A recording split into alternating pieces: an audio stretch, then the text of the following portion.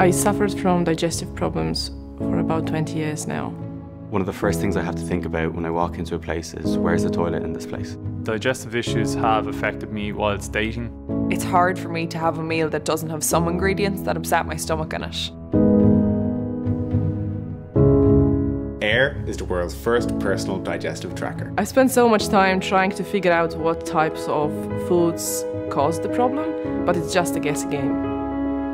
After you eat, you take a breath reading, and AIRE tells you how you responded to the food you just ate. My girlfriend was having digestive issues, but we weren't sure what the actual food triggers were.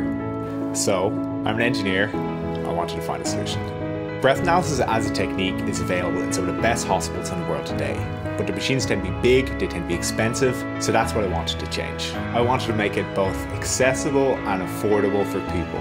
By also tracking your food, your sleep, your symptoms, and your stress, over time, AIRE can build up your personal digestive profile. If I woke up tomorrow and this problem was gone, I would feel great. It would be hugely liberating for me.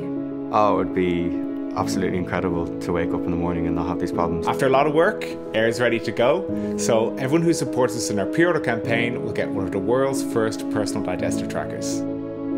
If you'd like to support us, check us out on foodmarble.com.